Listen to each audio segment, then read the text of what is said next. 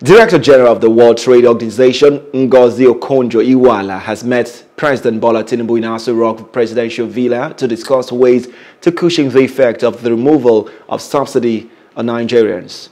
Ngozi Okonjo-Iweala, who was accompanied to the meeting by Dr. Ali Pate, one of President Tinubu's minister-designate, said she had a very fruitful discussion with the president on how to support the government to alleviate poverty across the country.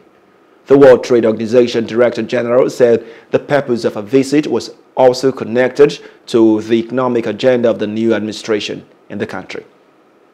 The difficulties that we're facing is transitory.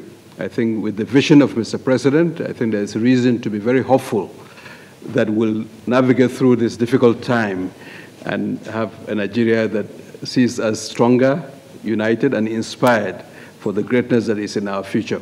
So Mr. President also discussed with us some of the vision on health that he has. I think it's uh, great to see that health is one area where it connects everyone. We all know that things are very difficult for Nigerians outside. Everyone is struggling. I'm here myself on a quiet visit, so this was not really an official uh, WTO mission, but we were able to engage with Mr. President to talk about how, what are the kinds of programs uh, that we could that could be put in place to make sure that the suffering of Nigerians are being alleviated.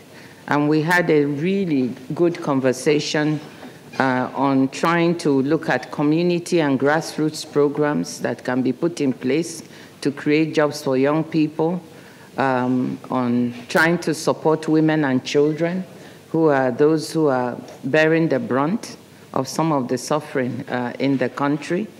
Um, we talked about how, for the longer term, we need to look at investment opportunities that Nigeria can seize, including in the pharmaceutical uh, industry.